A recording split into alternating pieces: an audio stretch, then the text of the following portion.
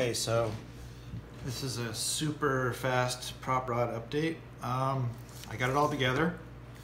Um, this rear wheel was pretty much welded onto the axle, so I had to use uh, vice grips and pliers to twist it off. Um, so the car wound up with uh, one Shrike wheel and uh, one prop rod wheel. Some observations. The um, prop rod wheels are not the same uh, diameter through the shaft. The shaft for the Shrike is smaller in diameter and shorter in length.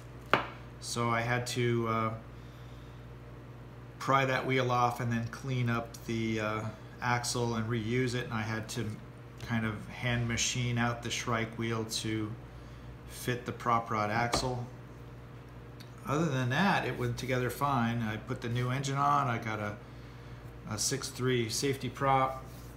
Um, you know, and I'm left over with some spare parts because uh, I, I, guess maybe I'll try to clean up this wheel.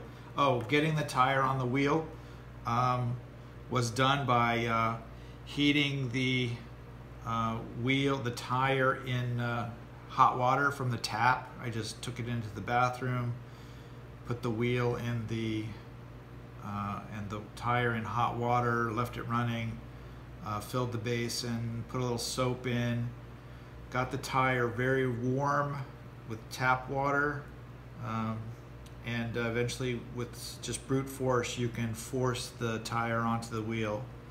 Um, it's not easy, but basically the, you just need to warm the tire up. That seems to be the key. So um, that's it for now.